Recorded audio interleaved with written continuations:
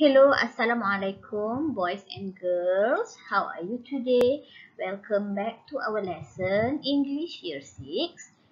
So today you are going to look at Unit 11 in your textbook, page 106, 107 and 108. So here are the pages that you are going to refer. 106, 107 and 108. Okay, first page is page 106. Alright, now I want you to listen and repeat after me, okay? Are you ready?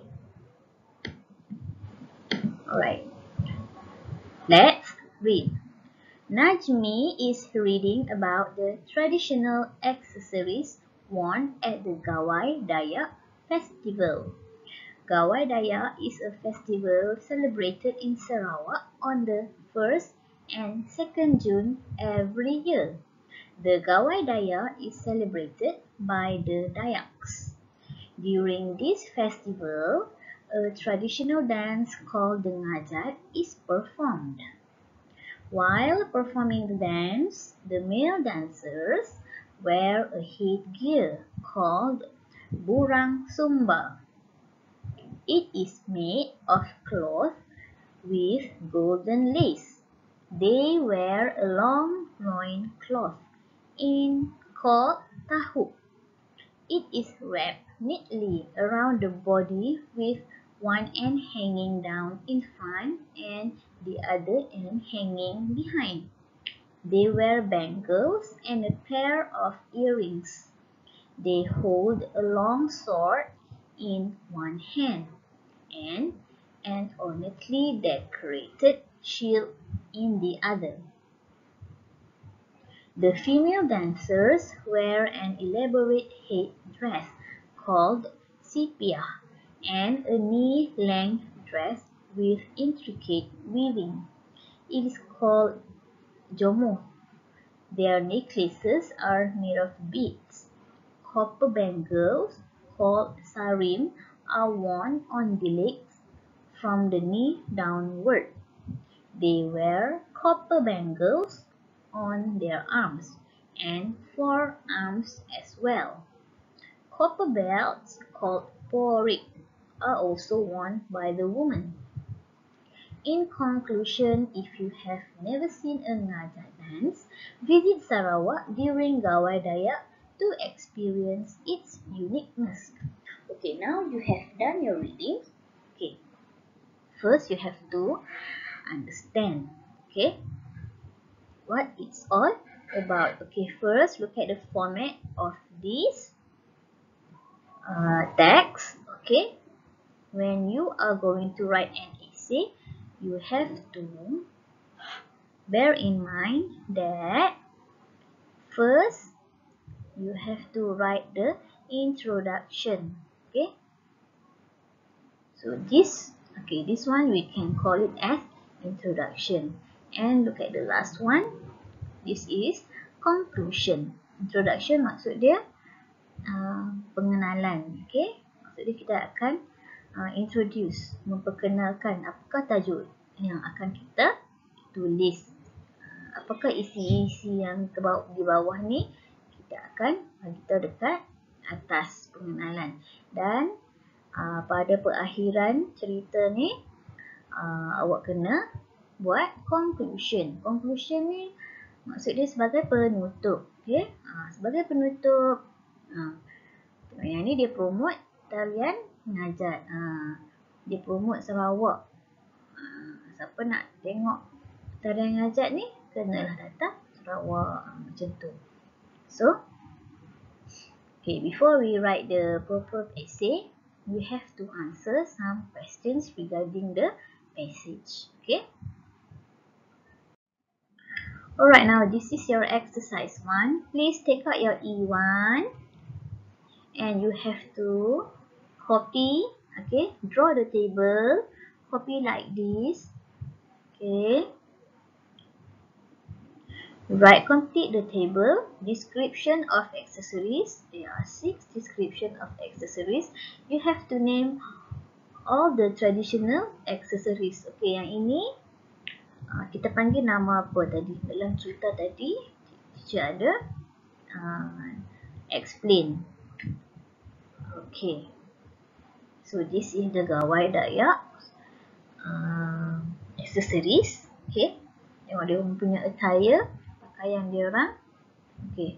Dari atas uh, rambut sampai hujung kaki uh, ada special accessories. So, awak kena namakan number satu, male dancers headgear. So, refer to the textbook tadi. Okay. Ah, passage tadi. Apa nama yang dekat atas kepala tu? Number two, female dancers headdress. Ada dalam passage tu. Awak kena tulis ini jawapan dia. So, jawapannya yang ini. Okay. Ada six answers for each statement. Okay. Alright, next. Look at your textbook, page 107. Alright, now let's read the story. Okay, Asin is reading a story. Asin sedang membaca uh, story. Story itu apa? Sebuah cerita. Okey, jom kita tengok apa yang Asin uh, baca ni. Once upon a time in a small kingdom there lived a tailor. Tailor ni apa? Uh, tailor ni ialah tukang jahit yang duk buat baju tu. Okay, one day as he was sewing a rope, some flies started troubling him. Ha, dia tengah menjahit, ada beberapa ekor lalat kacau dia. He shoot them away. Dia dah uh, cuba untuk menghalau. But, tetapi, they continued to bother him. Ah, lalat-lalat tu tetap kacau dia. The tailor then took a fly swatter and killed seven flies with one swat. Ah, bunuh sekali bun sekali tampak je terbunuhlah uh, berapa ekor ni? Seven. Tujuh ekor lalat. Lepas tu, I have killed seven in a single blow. Ha, dia kata, saya bunuh tujuh dengan sekali pukul. Kan? Shouted the tailor with great pride. Ha, menjerit lah tailor ni. Ha, dia bukan setakat, setakat cakap tapi dia je jerit ha, dengan bangganya. At that very moment, two ladies were standing outside his shop. Ha. Masa tu juga ada dua orang perempuan berdiri di luar kedai ha, kedai tukang jahit ni talking about a fearsome giant. Sedang bercakap tentang uh, adalah satu makhluk yang besar ni. Ha, The, this giant was killing many people in the kingdom and eating them whole. When they overheard the tailor, the ladies thought, What a brave man he is! He has killed seven giants in one blow. Ah, dekat bandar tu, kan, ah, giant ni memang orang takut lah. Sebab giant ni selalu bunuh orang dan makan Ha. Lepas tu bila dua orang ni dengar Taylor ni kata saya bunuh tujuh dengan sekali pukul. Ha, dia peringat ha, apa Taylor ni dah bunuh Giant tu lah. Ha, tapi padahal bukan Giant kan. Ha, yang tujuh tu. Tujuh tu merujuk kepada apa tadi? Ha, flies kan. Tapi yang perempuan ni dengar Ha, diingatkan giant. Okay. Lepas tu, look at the third passage. They ran to the king. Mereka berlari uh, menuju kepada siapa ni? King, raja. And told him about the brave tailor. Bring him to me. Ha, raja suruh bawa. Bawa. Bawa kepada beta. Ha. The tailor tried to explain that he had only killed seven flies, but his cries were in vain. Uh, dia dah cakap dah. Uh, sebenarnya bukannya dia bunuh tujuh giant kan? Dia cuma bunuh tujuh ekor lalat. Hmm. Tu. Uh, go, kill the giant. Uh. So apa? Raja ni mengarahkan tailor tukang jahit ni untuk bunuh giant tu. So the poor man had no choice but to obey. Uh, tailor ni kasihan kan? Dah tak ada pilihan. Hmm, kena patuh je lah. Okay, next. The tailor reached the giant's cave. Ah, dah sampai dah gua giant. Oh, what a mighty giant he is. Oh, dia kata. Besarnya. I can't kill him. Saya tak boleh bunuh dia. Uh, he thought. Then the tailor had a brilliant idea. That night, while the giant was sleeping, he sewed the giant's sleep together. Oh, masa giant tu tengah tidur, dia jahit mulut giant. Now the giant could not eat anything. Ah, giant tu tak boleh makan. When he woke up, bila dah bangun, he begged the tailor. Dia merayu kepada tukang jahit to undo the stitches on his mouth. Ha, untuk buka balik lah jahitan di mulutnya tu. The tailor agreed to do so on one condition. Ha, tukang jahit ni pun setuju tetap untuk buka balik jahitan tu dengan satu syarat. Hmm, dia kata, I will undo the stitches only if you promise to stop killing any more people and leave our kingdom immediately. Ha, syaratnya ialah uh, berjanji untuk uh, berhenti bunuh orang dan uh, segera dengan segera meninggalkan uh, negara. Kan? Okay. The giant agreed. Uh, so giant tu setuju and the tailor unpicked the stitches ni dia buka balik lah. Jahitan tu. Uh, so the giant immediately left the kingdom. So the giant, giant tu pun meninggalkan negara tu.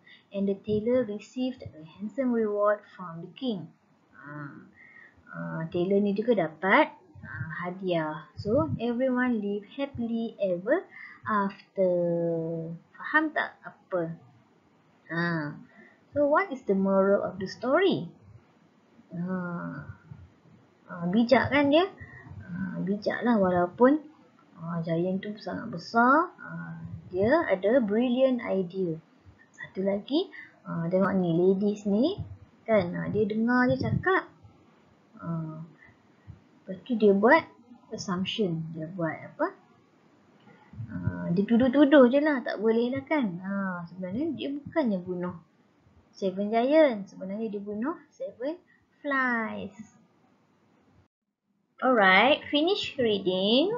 Then we are going to answer the seven questions. Okay, now this is exercise 2. Please take out your E1 and copy these questions and answer them correctly. Alright, number 1.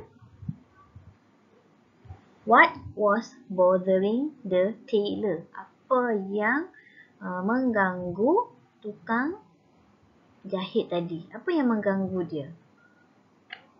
Depan dia adalah flies. Okay. Lalat. Lalat. Number two. How many flies did the tailor kill? Berapa ekor lalat uh, tukang jahit ni dah bunuh? Berapa ekor? Yes, seven. Number three. What did the ladies hear? Apa yang uh, dua orang perempuan tu dengar. The ladies heard. Okay, sini heard eh. Sini hear. Jadi, past tense sebab question dia in past tense. So, bila dah ada past tense sini, okay, awak kena jawab tukar hear, present tense jadi heard. The tailor said he had killed seven in a single blow. Okay, okay salin jawapan. Okay, number four. Why did the king call for the tailor? Kenapa Raja uh, panggil tailor. The king called. Did kan? Ada did. Sini call. So, call jadi called. The tailor to order him to go and kill the giant. Nah, pergi bunuh giant. Number five. Where did the giant live? Di manakah giant itu tinggal? So, the giant lived in a cave. Dalam gua. Number six. Did the tailor obey the king's command? Adakah tukang jahit patuh kepada uh, arahan uh, raja? Yes, the tailor obeyed the king's command. Number seven. What happened to the giant? Uh, apa dah jadi dengan giant tu? The giant immediately left the kingdom. Okay. Alright, next, look at your textbook, page 108.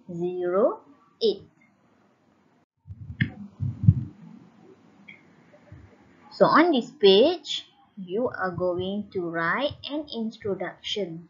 Okay, what is introduction? Tadi kita cakap, introduction ialah pengenalan.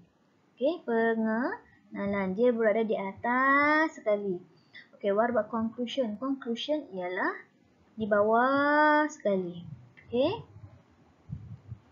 Okey, di sini okey ada uh, ada task, ada kerja eh awak kena buat. Write an appropriate introduction and conclusion. Okey. Uh, body dia dah bagi, isi-isi penting dia dah bagi, awak cuma kena buat atas dengan bawah. Okey. So, okey, okey, ini ialah sari. So, Sari berada di first paragraph. Okay. So, ini pula ialah salwar, kamis. Ha, ini isi-isi dia lah ni. So, ini ialah vesti. So, ha, isi penting dia tiga ni. So, awak rasa apa pengenalan dia? Ha, pengenalan dia, sini dia bagi three main attire Indian. Ha, tiga utama pakaian Indian. Ha, kita beritahu lah dia nak bercakap mengenai tiga uh, pakaian uh, tradisional yang utama yang dipakai oleh oleh orang India. Okay, conclusion dia bagi sini Indian attire unique, stylish and uh, comfortable. Dia dah bagi uh, apa? Uh, guided word. Okay. Ha, dia bantu awak ni. Awak cuma sambung, sambung, sambung, sambung. Jadi ayat yang ha, betul. India attire pakaian India. Ha, unique, stylish, ha, comfortable, selesa. Alright. So this is your exercise 3. Still using your E1. Okay, now I will guide you how to write the introduction. So these are the body. So three main points given here. So you just write the introduction and conclusion. Alright. So you can copy this in your E1. Okay, copy every everything introduction and the three points here. The three paragraph for the body and also the conclusion. Okay let's look at the introduction first. Introduction mean penge pengenalan. Ha okay. Dia nak memperkenalkan ataupun menerangkan apakah uh, yang akan kita sampaikan dalam uh, cerita ni. Okay There are three main Indian attire. Even there are many traditional dresses worn both by women and men, these three attires are widely recognized everywhere.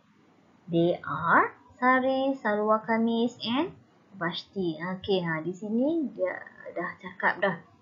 Uh, pakaian tradisional tu ialah sari, salwar kamis and bashti. Lepas tu tengok paragraf yang first ni dia menerangkan tentang sari. Paragraf kedua pula dia terangkan tentang salwar kamis. Dan vesti ni pula dia terangkan di paragraf ketiga. Okey, dah habis terang uh, penerangan tiga-tiga isi penting ni. So, tulis conclusion. In conclusion, okay, uh, untuk sebagai penutup. All these three attires are the most elegant and sophisticated Indian attires that one can think of. They are unique and comfortable to wear. They can make anyone look stylish, beautiful and special. Okay? That's all. Easy, right? So now, copy this in your E1. Alright, that's all class for today. Thank you for joining PDPR and watching my video. Okay, please like and subscribe my channel. Okay, take care everyone. Bye-bye.